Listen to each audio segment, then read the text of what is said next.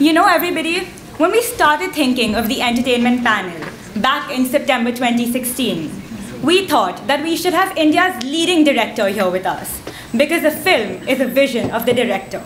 But Devanshi, you cannot forget that the economics of Bollywood is a completely different ballgame. Without a producer, a director's vision cannot go far. But this relationship is incomplete without a stellar actor. Then let's call on stage the one perfect package of these three national award winning actor, director, and one of India's leading producers. The one man show. Audience, get ready to rock on with Farhan Akhtar.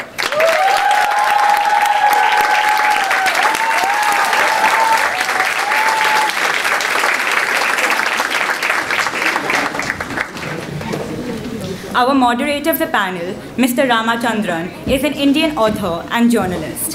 He is the author of Rajnikant, the definitive biography, and Lights, Camera, Masala, making movies in Mumbai. Over to you.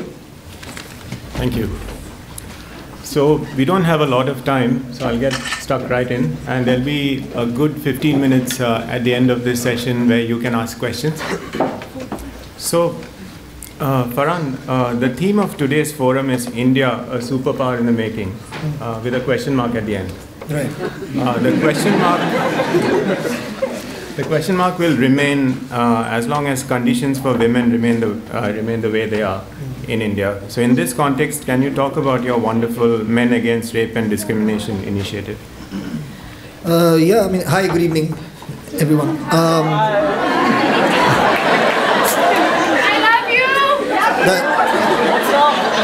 that, that, was a good evening without a question mark. Thank you. Um, no, I mean, as, as far as uh, equality between genders, all genders, not just men and women, um, ending violence against women, equal opportunities, equal access to education, to health, various things. Um, I think there are problems around the globe, um, not just in India. We have our share of issues. Um, and I feel that as people who need to be responsible, because we have a certain um, support and love from people because of what we do, um, I've always found it very important to try and find something that you're passionate about, that you believe needs um, improving, needs change, and to really, really work towards it. Um, I have two daughters. For me, it's very, very important that they have a world um, when they're growing up that they have opportunities that they're not treated differently from a man would be treated um, so these things are important so i just do whatever i can. So it's collaborating with many people different ngos who are doing some amazing work. Um, and then apart from that just doing a lot of messaging through uh, through music uh, through a couple of series of short films that we are now in the process of making. Going to colleges speaking to young boys um, kind of instilling within them the, the importance of getting involved in solution seeking because it's not possible for women to do this entirely by themselves um, as much as even I would hope that they could.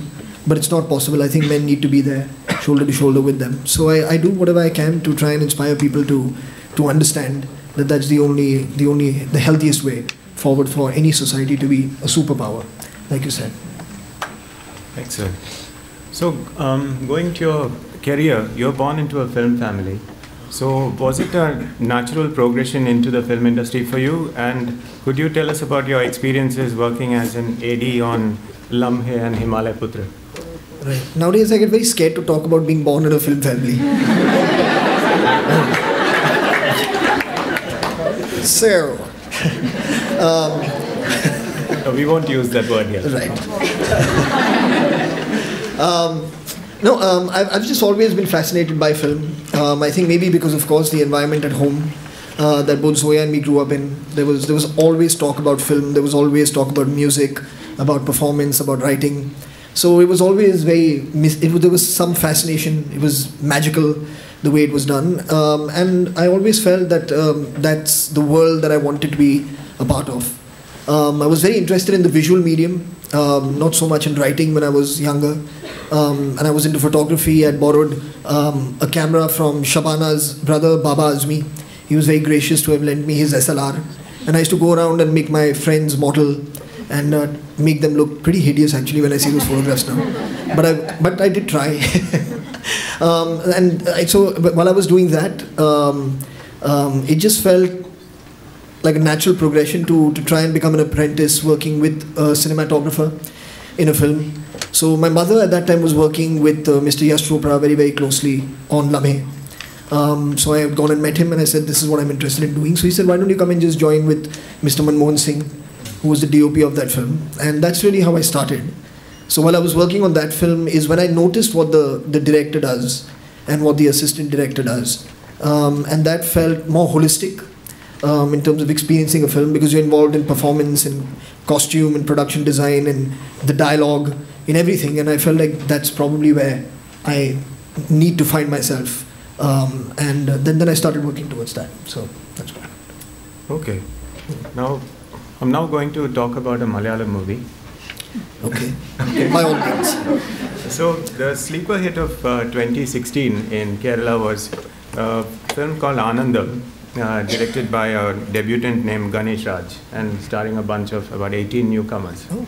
And uh, in that film, a bunch of engineering college students go on a field trip to Goa and visit the fort where Dil Chahta Hai was shot. Really? And so one of the uh, leads remarks that he is sitting on the exact same spot as Aamir Khan in the film. Uh, and his uh, friend replies, but that was 15 years ago. Uh, I can't believe that it's been that long because I saw the film just last week and it's as fresh as ever. So, how did you gather the finances and such a stellar cast? And can you uh, re- recount that anecdote how you finally got through to Aamir Khan? Yeah. Um, Aamir, uh, I mean, he's an amazing actor that I think everyone is very well aware of. But uh, what was interesting to me was he really, really um, wanted to, I think, get a sense of how serious I am about what I do, how serious I am about wanting him in the movie. Um, so he really made me play the waiting game, you know. So like I met him once, he heard the script. Um, it was in English at that point, so he heard it and he said, you know, I think you should make this film in English. Don't make it in Hindi. The sensibility is very uh, cosmopolitan. Mm-hmm. So, yeah, so I said, no, I have to do it in Hindi because I want everyone to, to watch it. Uh, so he said, okay, you go back and you write the dialogue in Hindi and come. So I said, okay. So I went off um, and then I'd finished writing it in, in maybe like about two and a half to three months. And then I called him and I said, let's meet. Can, can we meet? And he said, yeah, we can meet. Um, I'll let you know when. And then just one month became two months and it became three months and became four. Um, and it was like eight months down the line. I mean, I was wondering what's happening. So then he called me and he said, uh, let's meet at uh, this one shoot that he was doing for um, some soft drink commercial or something. So I went and met him there. And he heard the Hindi dialogue and he said, you know what? I really like it, but um, I don't know if you're the guy who can direct it. Yeah. so I think what you should do is now you should just give me the script and let me make it. So um, I was saying, nee, I can't, I can't do that. I was like, no, I can't do that. And in all honesty, I mean, it, it really, I, there was a part of me, I think because I'd written the film, the characters were so close to people that I knew. I really did feel, although I'd not directed a film before, that I really did feel that nobody could make it the way I was wanting to make it. I, I really had that belief. Um, so I said, no, I, I'm sorry, I can't. So he said, okay, then let me think about it. And then again, just, he said, I'll, I'll call you back and let you know. And then again, another three, four months passed. Um, and then he said, I'd like to hear it again. So I said, okay, so I'll come and meet you. So he said, okay, I'll tell you when. Yeah, it was amazing. So uh, I said, fine. And then uh, he made me wait. And then he said, okay, so come tomorrow. And then I went. And I was like, man, if he doesn't hear it now.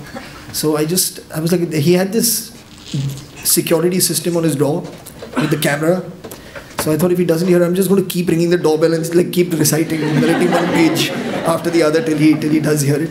But then he did. On that day, we had a, a good narration, and he said he's on. And then everything just kind of fell into place.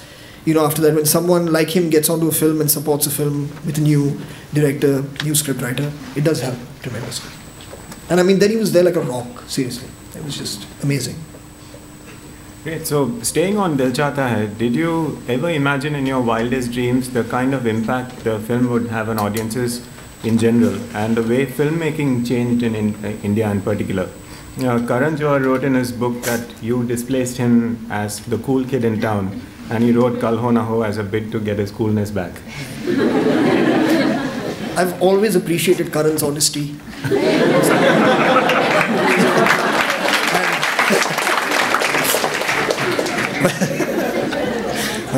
um, no, he did say that to me. He said when he had seen Dil Chahta, he said that's the reason he really got down to writing Kal Ho Na Ho. Um, he said he was very inspired, which is very, very, very sweet. Um, but um, no, you know, you can't plan these things. Um, nobody really, really knows what's going to happen uh, with their film. I mean, you do hope for it to be a success. You put in all the ingredients that you possibly can, like a, a good star cast, you know, good songs, good scenes, good script. You can do all of that stuff. But even then, at times films don't work, so you don't know what's going to happen. But uh, beyond the fact that whatever it did at, at the box office and uh, that happened, the, the, the fact that it's really stayed with so many people, you know, and that it's inspired so many young actors, young writers, young directors who are now working uh, in film and speak very fondly about the first time that they saw the film and what it meant to them. It, it just feels amazing, but it, it wasn't planned. You know, you, you can't really set out to do those things. Those things happen, I think, um, in spite of you. You know, so that's what it is. Well, I have a uh, personal anecdote. Uh, just before the film released, uh, I think it was Ritesh or Prav- uh, Praveen, they came to London. Right. And uh, uh, I, I used to work at the British Film Institute then. And they had a screening for us with a view to the BFI distributing the film. Hmm. And the head of distribution at the time uh, dismissed it, saying that it's too boysy. Uh, Is that a word? uh, for her it is. So uh, I told her, uh, didn't you see that uh, the men in the film are weak and it's the women who are strong? Hmm. And she said, no, it's a boysy film. Right. so, um, I'm Yeah, but a lot of that stuff happened. I remember even when we did the music of the film, a lot of people who came in to hear the music from various labels, none of them understood what was going on with the with the music of that film. Um, I remember just feeling so depressed. Um, like the head of this one music label came in and he started listening to the songs, and then just by the second song, had gotten onto his phone, you know, and uh, having conversation. Then said, "Excuse me, I'll be right back," while the music was playing, and left. And we were like, "Are we like?" Would it be made? really do. You do question yourself because you, I mean, you're at that point in, in time where you really feel that these people know what they're doing. You know, so you're hoping to get some kind of understanding of whether it's good, not good, whether it'll work, not from them. You know, and it's uh, it can be quite disheartening when stuff like that happens. But um fortunately, people didn't agree with that gentleman when the music came out. Thank God. So moving on to uh, Lakshya, uh, tell us about the experience. It must have been uh, very tough shooting in those conditions, and you also produced for the first time uh, with uh, that film. Uh, I mean, although I did, I was a, a producer on Dil Chahta as well, but um, there was also a third producer, Praveen Talreja on Dil Hai. By the time Laksh came around, it was just Ritesh and me. So the Excel as we know today was was with Laksh. Um, but I mean, it was an amazing shoot, you know, and um, there's it was very difficult.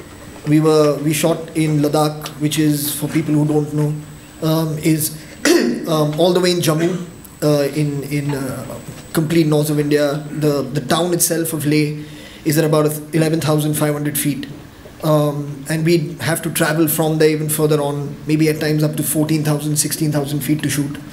So it wasn't easy as a shoot, but uh, it was a great lot of people, all very motivated to make this film, um, and that made it. Um, that that's the reason I think we could achieve it. It wasn't it wasn't easy at all. So, but um, full credit I think to to the crew, to the cast of that film, who like kind of kept everyone everyone motivated each other to be able to do it, and that's um, that's the reason we that's the manner I think in which we could possibly pull it through. Okay, now moving on to Don. Um, rebooting uh, an all-time classic like Don was a very brave decision. So, what made you do it? I, I've always loved that film. Um, when I was a kid, I used to watch. That was one of the movies that I watched probably more often than the other ones. Um, and I think the reason for that was that I would find it fascinating being a huge fan of Mr. Bachchan, how he scared me in that movie, you know, as the character of Don. I used to find him very frightening. Um, and I, was- I think that's the reason that film stayed with me. Um, and then I was like, you know, all those movies of that time, I thought it would be nice for me in my own way to kind of be able to do some, pay a tribute to all those movies that have inspired me by maybe making a film that belonged to that world. And somehow the, the film Don, I felt, was a, was a good film to be remade in today's time. Um, also, I always felt disappointed that the real Don, even in the original one, didn't survive. I did. personally because I used to I used to love that dialogue. Don ko pakadna mushkil hi nahi namumkin hai. And I mean, someone who says that and then dies. Did you tell your Did you tell your father that? I did, I did. Because he asked me, he's like, why तुम क्यों बना रहे हो ये film? So I said because that dialogue makes no sense unless the guy survives. You know? So I, I just wanted to give my fan meaning, you know, to, to that dialogue, and that's really the reason I, I started working on that film, and it was it was so enjoyable doing that movie. Yeah, it was a lot of fun. Okay. Then you made your uh, rock uh, acting debut with uh, Rock On. So uh, was acting something you always wanted to do? Um, What were the circumstances that? No, no, not really. I think when I was a kid, because I didn't know any better, I didn't know what goes into making films. Um, the only thing you can fantasize about being really is an actor. You know, because I, I don't know any kid who's fantasizing I want to grow up and be an editor. Yeah. You know, just- look at that. you only you only know what you see on screen. So for on that level, yeah, I mean, I, I did fantasize about being an actor, but I, I didn't really follow up by doing anything that that would require me to prepare myself to be able to be one. Um, and then as I learned more about film and as I got into like being an assistant director and stuff, I, I was very happy um, just being on the other side of, of the camera, writing, producing, um, just working with, with actors that I've admired. Um, and with Rock On, I, I think it was the script, which was one thing that was very, um, uh, very attractive to me to, to try and get myself to do. Uh, and then the fact that it was about music, it was about a band, all these things are, are very dear to me. Um, and I just felt like I had no reason to say no to it. Um, and um, with Abhishek, who was the director, I mean, of course, we wanted to make sure that apart from this um, uh, desire to want to do the film, you know, like, is it possible also to perform it?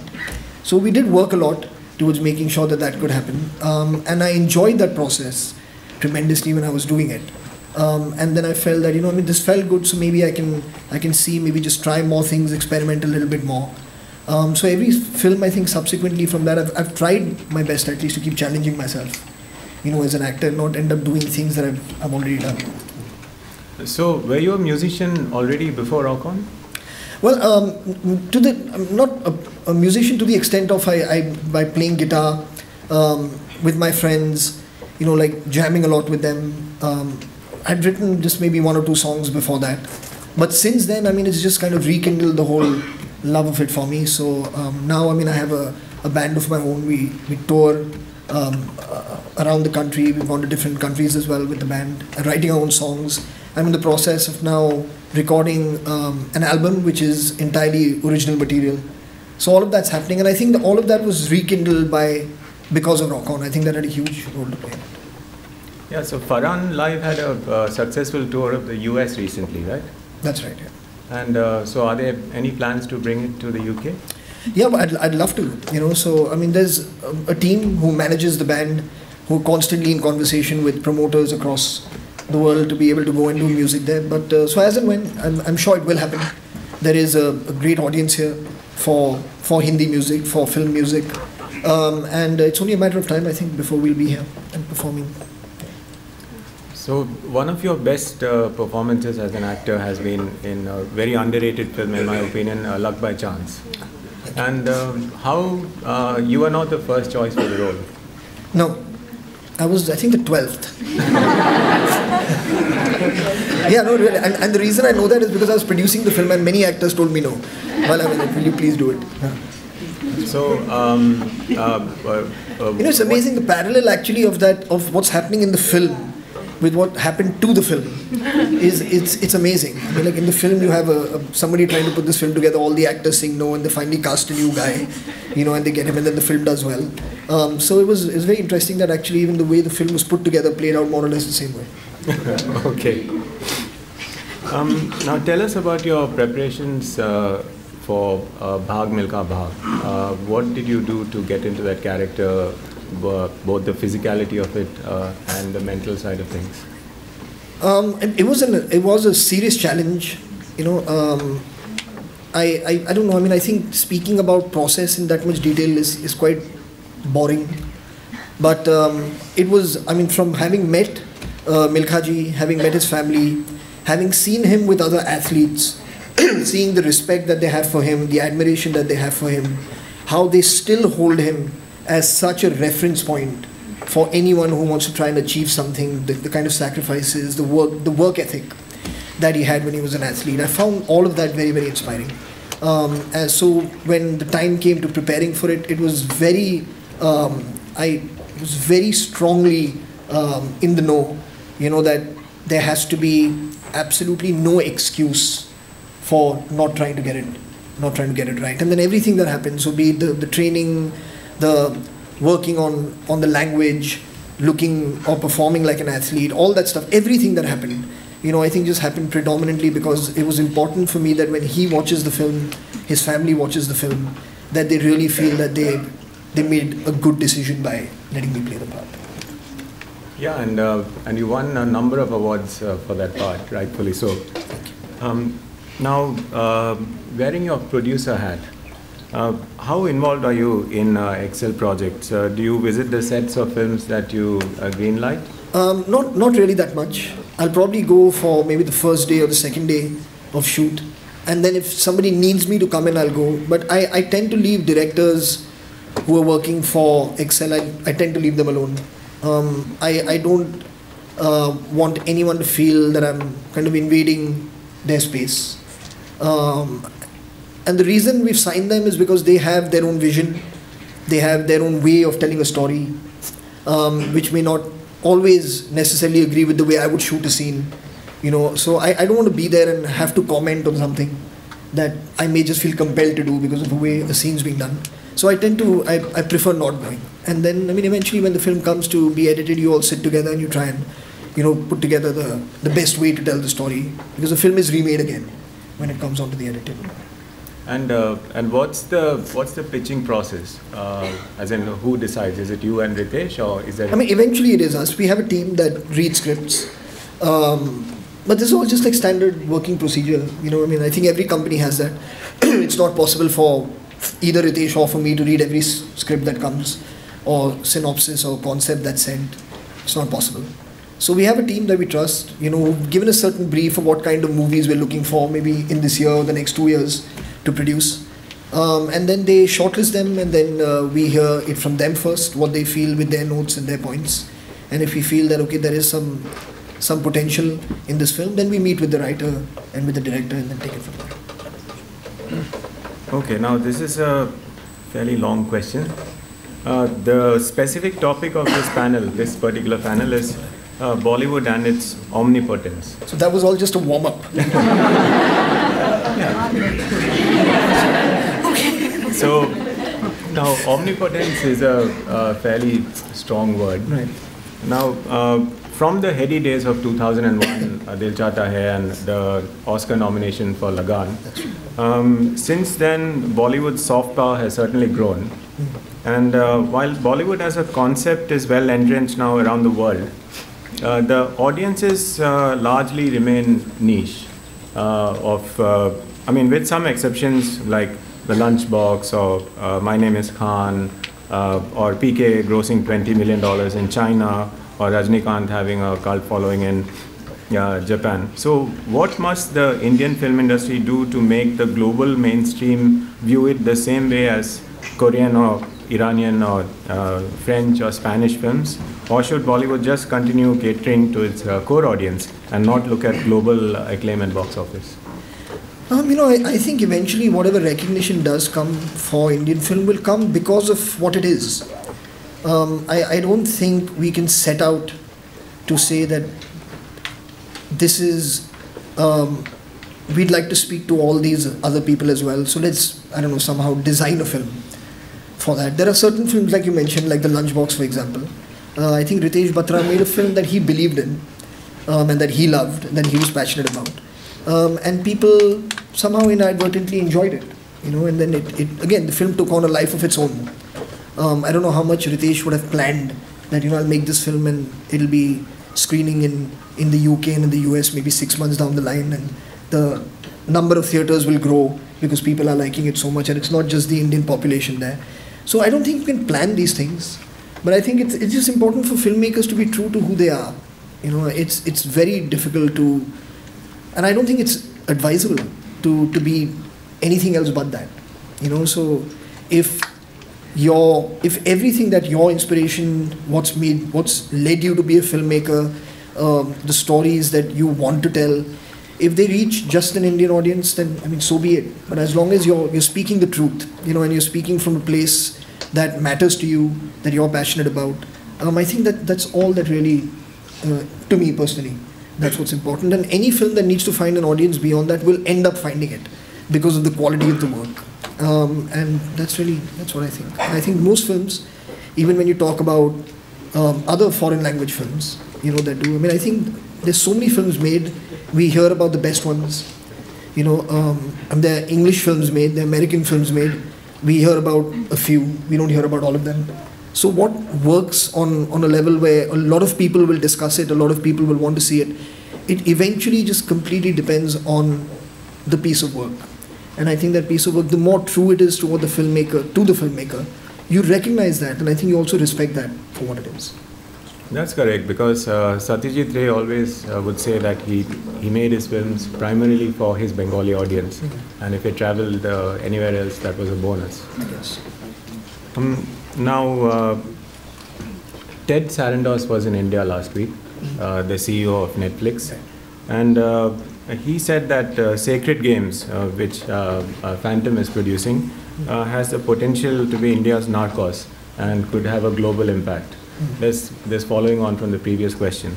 Uh, similarly, do you think uh, Mirzapur and Power Play that Excel is producing for Amazon uh, uh, could uh, resonate with global audiences?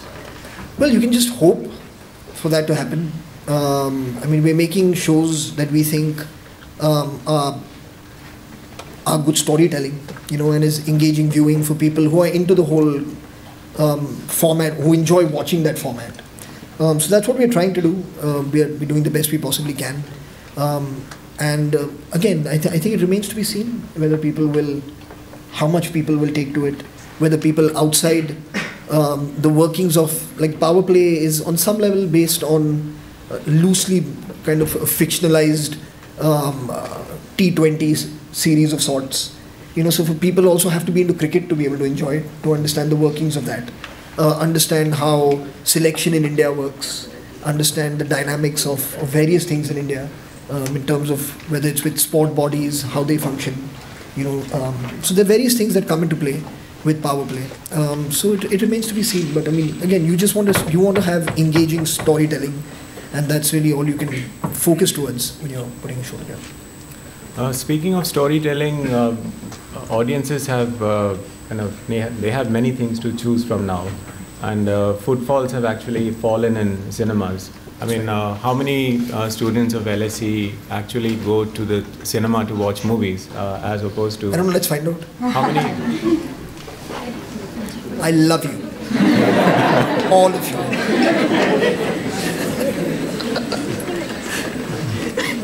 you.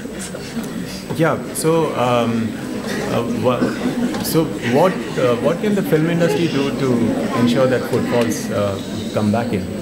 Um, you know, I, I think what's happening. Um, recently, I read somewhere, um, which is which I think is to a certain extent is true, that I feel like now, possibly, uh, the big cinema experience, the big screen experience.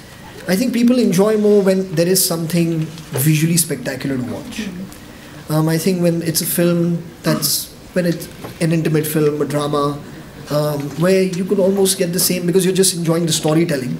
Um, you'd be as happy watching it on your television at home because now you can stream it, you know, or download it when it comes onto some, um, uh, whether it's Apple TV or Netflix or any of those or Amazon, um, and you can watch it. Um, you can watch it on your phone, you can watch it on your iPad because there's nothing visually that you need to really be engaging with. So that does tend to happen with certain films. People are just they're very happy to sit back and let it come onto television at some point, or onto satellite, or onto any platform, and watch it there. So I think the big cinematic experience, uh, I think now is more and more often is being saved for visual splendor. That you need to go in there and really be like, wow, this could only be enjoyed on a big screen. I, I think that is something truly that is that is happening. Okay, so I think it's time to uh, for the audience to ask uh, questions. But before that, I have one last question. We love uh, Farhan the actor and the musician. When do we see Farhan the director coming back? Um, I don't know. It, it remains to be seen. I mean, it's something I do enjoy doing tremendously, and it's only a matter of time. It will it will happen. Okay, questions, uh, gentleman with the glasses in front. Ah, hello. Do we have a mic going around? Yeah. Hi. Uh, so the father is a very prominent Urdu poet slash writer, and the same goes for me. Shabana also comes from that background. Kaifi Azmi being one of it. Yeah. So can you can you read the script and you fond of Urdu poems and shaira, the shairis yourself? You know, one of my life's biggest regrets is not going through with my learning of reading the Urdu script classes when I was younger, because I feel there's such a, a universe of of literature that um, I find myself very now, unfortunately, um, kind of um, I have no access to because I can't read the language. Uh, I do understand it perfectly well when it's spoken, but um, it's something that I, I do want to do. Um, I have time, you know, so I, I do intend to start learning how to read it because, like I said, there's just so much amazing work um, that it would be unfortunate if people somehow can't constantly access it, you know, because of no longer knowing how to read the script. So, but but yeah, that's one of my greatest regrets is not learning the language. The lady on the balcony there.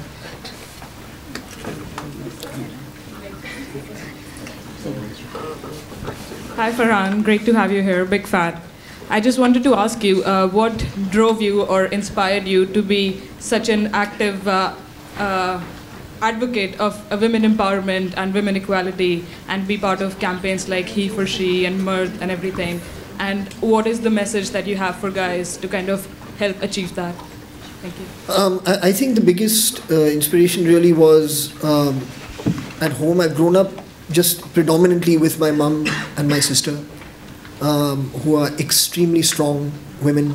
Um, and even my mum's side of the family, all her sisters, very strong, very independent women. Um, and so they've always been very, very inspiring for me. Um, and when I see, at times, you know, um, maybe what they've had to go through in their lives, um, like I said, just in terms of whether it's attitudes towards women, towards working women. Um, and so that always did trouble me. And then, of course, when you have your own kids now, I have two daughters as well. Um, I feel very responsible to try and correct it as much as I possibly can you know. Um, so these are things that really do do drive me to do what i do. Um, and my focus is you're absolutely right is predominantly actually more towards men to try and get them to um, open their minds more you know. Um, and somehow inspire each other motivate each other to try and understand that it is very important um, to not just you know like have this thing of putting women on a pedestal. You know, we, we tend to do that. Meri ma and Meri behan, you know, like all this stuff. And it's, they don't want it either. And it's just about treating each other equally and just being being cool with one another. You know, and, and how you'd be with a friend who's a man. I mean, just be that way with women. And uh, that's all they ask for. You know, so there's nothing beyond that. Um, so it's just really focusing on that and just trying my best, you know, to get them to see that that there's no difference in anything that you want to get done or anything that you hope can be done better or worse. I mean, a man or a woman will do a job job as well or as badly depending on their qualification to do it. You know, so it has nothing to do with gender. So just that kind of thing. Thank you. Okay, Farhan, uh, I'm really big fan of yours, and similarly, I'm even greater fan of uh, Javed Saab. So, any two lines that have impacted you uh, that you want to tell us uh, in Javed Saab's word? That, that I want to tell you in Uh, like written by Javed sir. any two words. Uh, Lines, lines, lines. Like poetry, poetry, poetry. Well, um, apart from many things that we've, we've done together, I mean, he wrote all the poem in Zindagi Na Milegi Dobara, which was very exciting for me to recite. Um, so, I mean, if you want, I can share a poem from that with Yeah, you. go on, go on. Please, please, please. Please.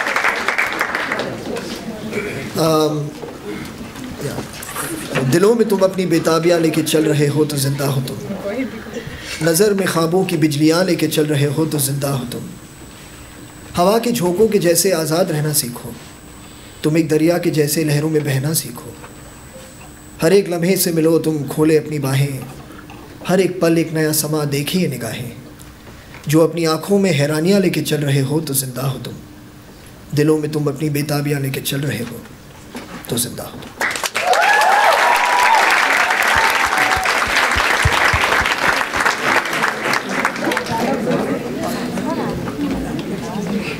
Yes. I saw film by Shaji N. Karun Piravi in Malayalam, and I saw some of the films by Satyajit Ray. I think uh, mentioned about. I do not see films like made by Satyajit the kind of poignant petroleum uh, uh. So the Indian films not appreciated outside, not getting much award.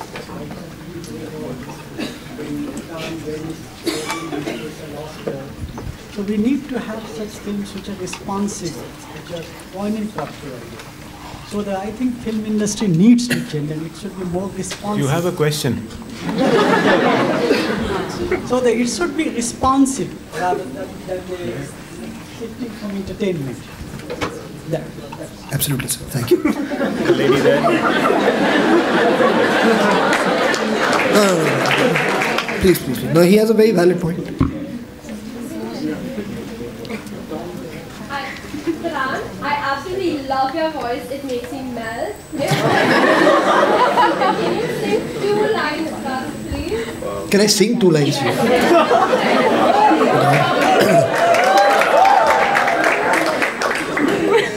um, well, I, th- I think that everyone should also sing. No? So we can sing. Um,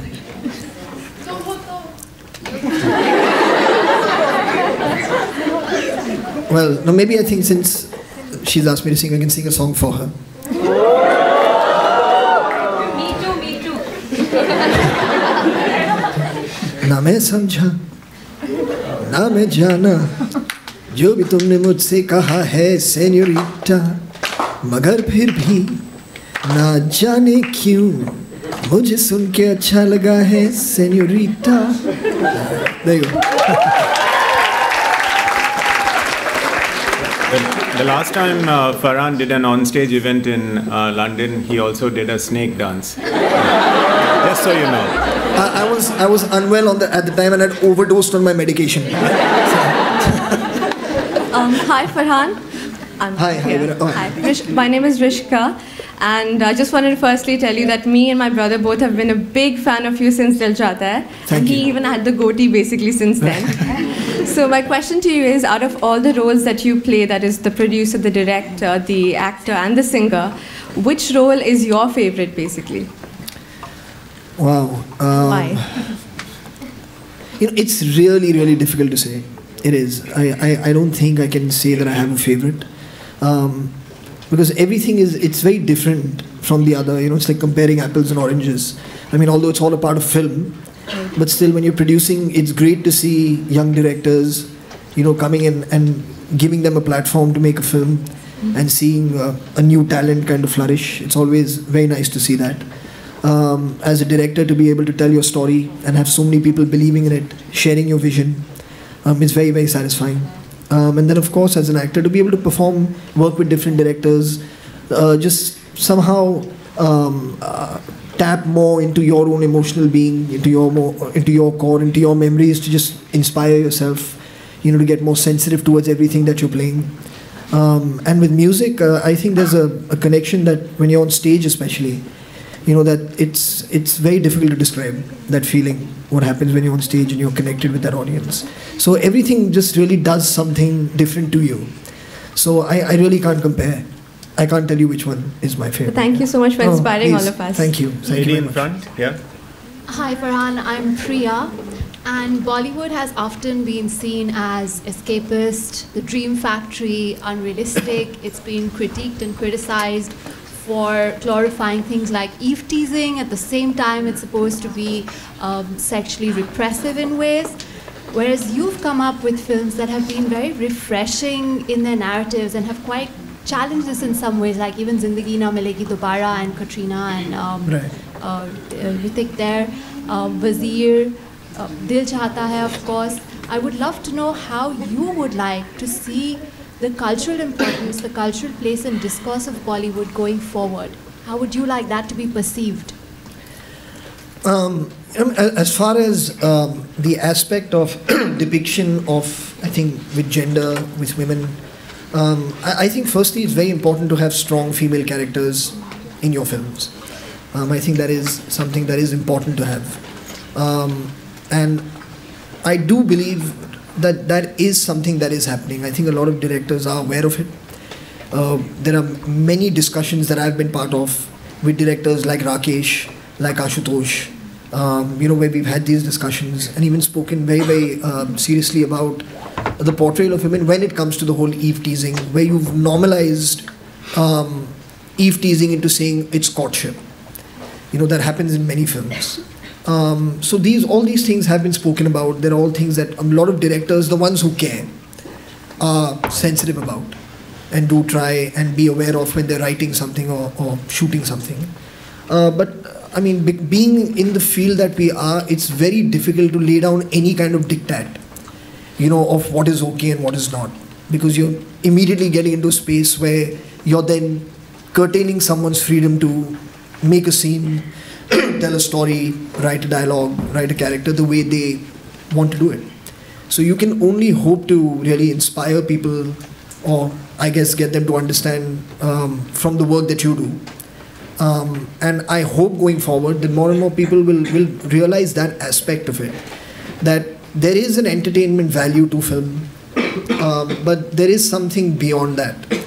I think to movies, we do have a responsibility to people who are watching it. It's not only to get them to, you know, just come in and have a laugh or have a cry. I think there's something more than that because their film, and I don't know, I can't speak for other countries, but I know the impact that film has on kids in India because we see it everywhere we go. Um, and if they imitate dialogues, if they imitate the way you sing or they imitate the way you dance, they also imitate your attitudes uh, that you're putting out in the film. So I think it is important, and we try our best, you know, to get people to understand that. And hopefully, that is something that will happen as time progresses. Oh, please. The lady upstairs Hi, Farhan. and the lady here. Hi, um, I have a question. Um, talking about. Sorry, where are you?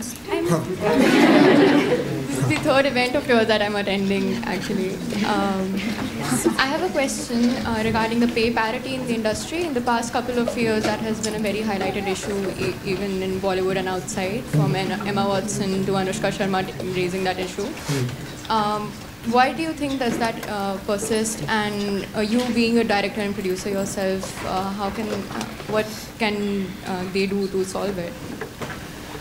Um, you know, I, I think it's important for people. The thing is, we are in a place where when we work, we don't tell anybody what they should get paid. Um, I think everyone has a self worth. Um, if you came and if I wanted you to be a part of a film, you'd know what it is that you would be happy getting paid to be in that film. Um, I'm not going to challenge that because I cannot tell you what you're worth. Uh, only you know what you're worth.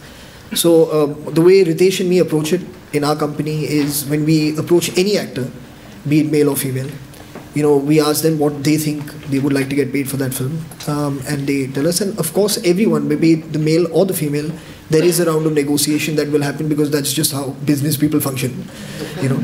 So that does happen, but it's never to the point of saying that someone's not worth uh, what somebody else is. Um, you shouldn't get into that. Um, I also feel that actresses, because this uh, did happen, I remember very clearly with the, when Anushka had spoken about it, I was asked that as well. Um, and I do feel that women should have then the courage to say no, to not do it. You know, um, if they feel that they're not being treated fairly, um, they should say, I don't want to do it. And I feel that there's enough powerful women in the film industry, powerful actresses who can put projects together. You know, who, if somebody called me and asked me to come and work with them, I would gladly do it. Um, and many actors would. I can't say I'm the only one, or that I'm the only director who'd say, Yes, I'll come and, and work with you. As long as, of course, the script is agreeable, you know, um, given all of that. But um, you would do it. And I think that you have to also, apart from, instead of just blaming the system constantly and what it was like, is create your own system, you know, and create your own way forward. And I think you have the power to be able to do it. Um, and I hope that everyone who feels this way will do that. You know, because to wait for somebody else to find the solution for you, I, I don't think that's going to happen. Okay, the lady here, and then the lady at the back, the blue shirt. Hi Farhan, I'm Sarah. I'm also an aspiring filmmaker. Um, and my question is at the Actors Roundtable this year, it was commented that often the females in the industry are almost outperforming some of their male counterparts now, and there are great roles being written for them. But often, even with actresses like Anushka Sharma and Vidya and many celebrated actresses, it's the more intense and tragic roles that seem to get that kind of attention. So I'm just wondering what direction you see writing going in in the future, and is it possible to have more ensemble casts for women, like Zindagi Na Milegi Dobara, where we have like almost an all-female cast version of that, and more light-hearted films that get that same praise and critical attention? Is that a possibility? Oh, yeah, absolutely, absolutely. And I, and I don't think that it's only a tragic, dramatic roles. I think we've had films like like uh, Weds Manu, you know, which Kangana was in, uh, which did really well, and it was a it was a fun film, you know, and it was she played uh, two characters and one was completely quirky, you know, um, and so I think there's all kinds of work happening right now, um, and you're absolutely right. There's some amazing performances happening by uh, and roles being written. I think more importantly than the performance, you know, for for female actors. Um, and again, I think it's something that, that will snowball. You know, that when you see that films are not only being made but are also being successful, because in film, the commerce of it also unfortunately does come into play. You know, um, and um, when you see that films that are predominantly about a female protagonist, when they start performing well, I think more and more people will be encouraged to do it. And I think for a long time that was an issue, that films that were being made with female protagonists would not perform at the box office. Now that the filmmaker can't be blamed for, the film industry can't be because the audience is not watching it. You know, so now the more the audience watches those films and patronizes those movies, the more people feel encouraged to want to make them. And then you'll start writing more, and then you'll go into making whether it's comedies, uh, coming of age movies, all of that will happen. It's bound to happen because I mean you have to tell stories, and you have to find new ways to tell stories. So that will happen. Lady at the back there.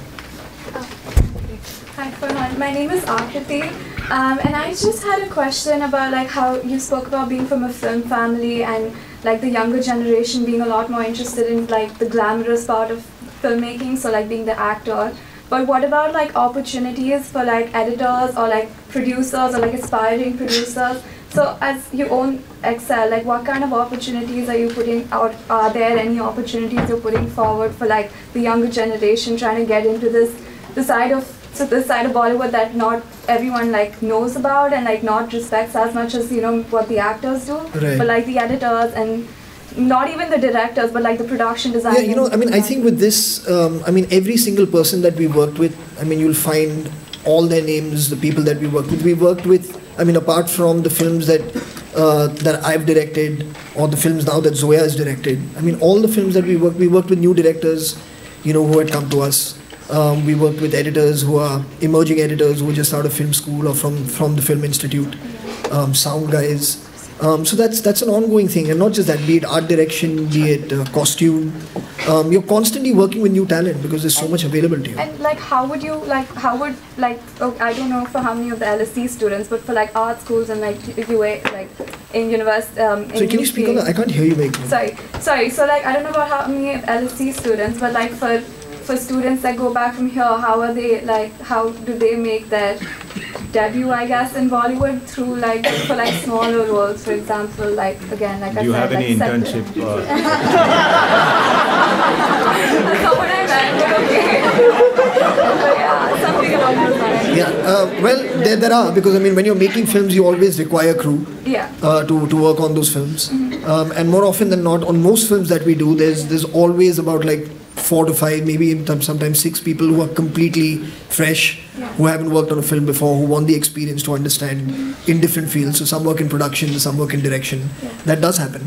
Um, but the process of selection of that is not easy because there's so many people also applying for it. You know, so um, the the thing with with film is because it is a very competitive world. It is a difficult world to break in to break into. That it is because there's so many people constantly wanting to be a part of it. Um, but perseverance does pay, you know, um, and um, that's that's all I can say. And at times it's just the luck of the draw. Yeah? you know, is what happens because then everyone comes with a similar kind of basic know-how. How do you select one over the other? On what basis? It's just when you speak to them, some seem a little bit more charming at times, if nothing else, you know, um, and or more interested, slightly more in the know about what film maybe than somebody else. But the enthusiasm level is the same across the board. So then you just have to, to go with your gut and say, okay, these are the people you'd like on board. But that does happen, yeah. Thank you. Gentleman upstairs. Hello, sir. Uh, my name is Rudra, and uh, uh, apart from being an amazing actor, you also reflect a sense of honesty, and I really respect you for that.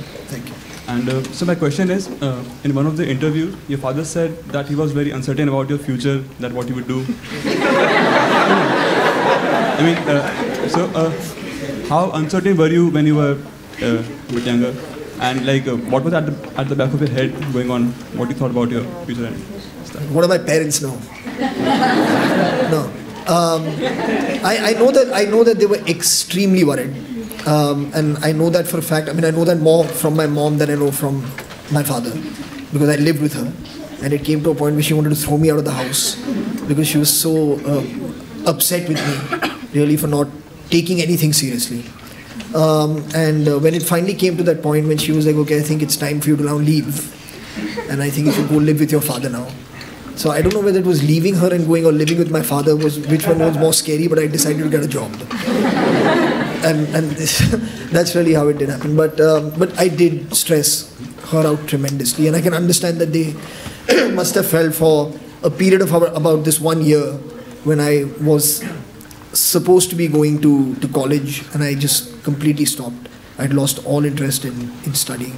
Sorry, this is probably maybe the worst place to say it. But, but it's the truth. Yeah, but so, yeah, they were extremely worried. I mean, uh, uh, what were you like? Uh, what were you thinking in those like in that one? You know? I was just obsessively watching movies at that time. That's all I was doing. I would watch about three films a day, um, whether it was at home. When I was asked to get out and go to college, I'd go to a friend's house and watch films. Or if I could afford it, I'd go to a theater and watch a movie there. But I was just watching movies for two years. I just that's all I did. Um, and um, so that's what I was doing. I didn't have time to think about anything else. I was just wondering what should I watch next. You know? So that's really what was going on. Uh, gentleman with the glasses and the, in the back row. Thank you. Um, my question is, uh, what's your take on uh, banning Pakistani artists in Bollywood that happened recently? And if the Bollywood film fraternity too often acquiesces to politicians' demands to do Right. various things? Uh, I mean, see, the thing with this, I, it's very unfortunate because I, I think everyone who works in an artistic, creative medium would hope that governments and people can put art above politics, that you can put it above things that are the differences between differences between people. You would hope for that, but it's a very complex issue, you know, um, and we have to rely at times on the better judgment of people that we've elected you know, to be able to figure out what the atmosphere is uh, in a place. Um, and if they feel that they don't want to give working visas, there's nothing I can do about it.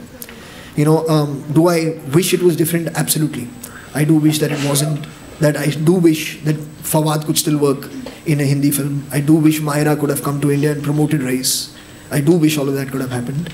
But uh, unfortunately, it, it couldn't. You know, and all we can do is hope that things will change again you know, and then whatever emotions that are running very high at this point, tomorrow will kind of calm down and we can get back to, to engaging with each other on this. And I hope the other way around as well, because it's not just about India not letting in Pakistani art, artists. Um, there's Indian artists can't go and perform in Pakistan either, you know, so it has to be both ways. It can't just be one. And gentleman upstairs. Yeah. Hi Farah. Hi Farah, I'm Jodavar and uh, I, I just want to say I really loved you in Wazir and Bagh Bagh. Every time you work it's like a different dimension. Thank you. And it's very challenging, I see that. My friend has a good question for you. Oh. I love that she came with her own MC. Hi, Farhan. Um, my question is with regards to so in today's day and age, we are living in an equal society, and gender ine- uh, equality is becoming a big thing that everyone's talking about.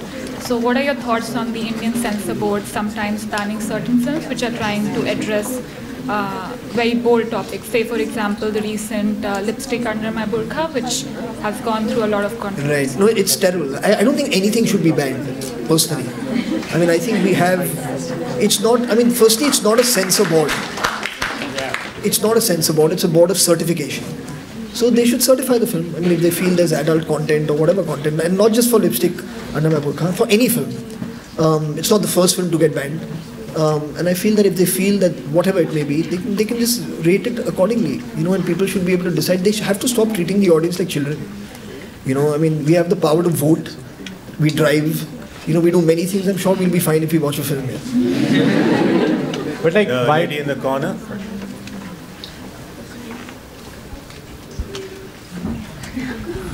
Hi, Uh, my name is Sirjan, and my question is: out of all the characters that you've played so far, which one do you relate the most to, and why? Um, I, I think the ones that's that's probably closest to me, I guess, would be the Imran character from Zindagi Na Milegi Dobara. Um, and I think Zoya and Reema also wrote it. Just I think just keeping me in mind and knowing that this is, I, I, they just wanted me to be the guy. So I guess the kind of humor that that character has, his bond with his friends, I guess his love for poetry, you know, things like that. Um, in the film, unfortunately, fear of skydiving, but I love it. so they put that in as my fear because they knew I could do it when the time came. So uh, all these things, I think that's possibly the closest one. Uh, the lady upstairs in the white dress.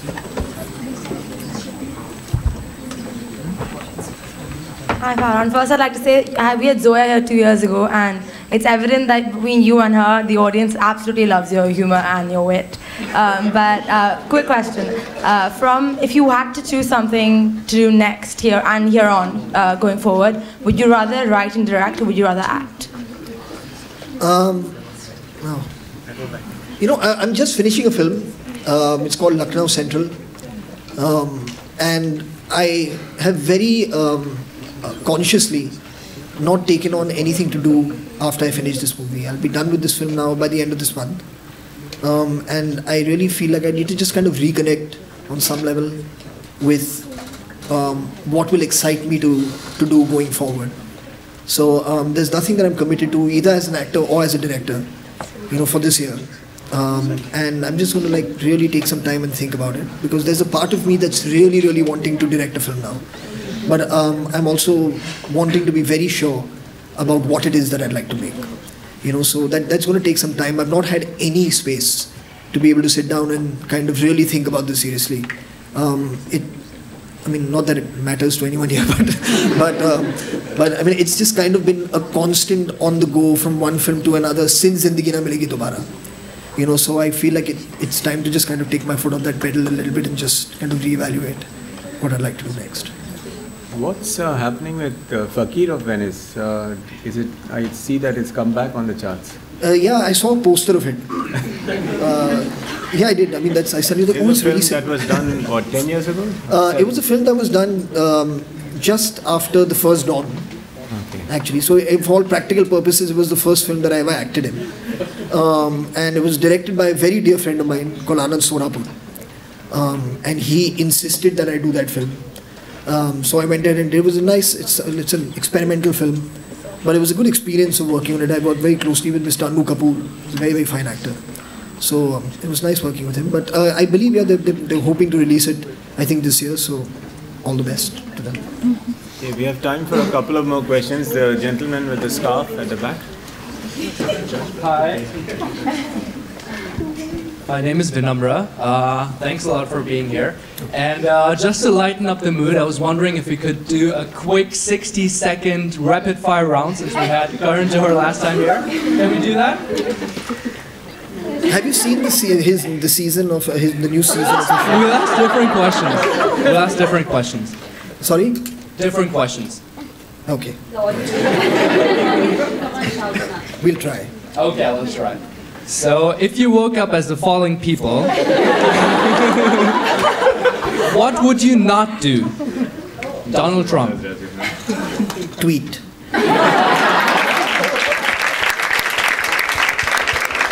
Salman Khan.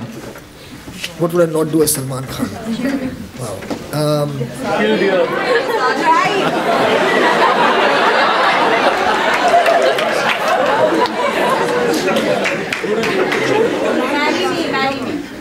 marry you. Yeah, Salman. Okay, good. Rank the following in the correct order. Um, Salman Khan, Aamir Khan, Shah Rukh Khan. Me, and what is this question? Alphabetically. Okay. Hey, I mean, this, you can't, you can't do that. Okay. Kill, marry, hook up. Sorry? So, kill, marry, hook up. You have He'll marry or hook up with, with Salman, Amir, or Shah. Interesting. No, no, I'll tell you different options. So you have Katrina, Deepika, and Priyanka. Right. You know, there's a reason I didn't go on Karan's show this year. Has he put you up to this? Well, um, no, I, I, So let's, let's move on. Let's move on. Uh, the lady here uh, with the glasses. Hi. Um, Go ahead, go ahead. Should I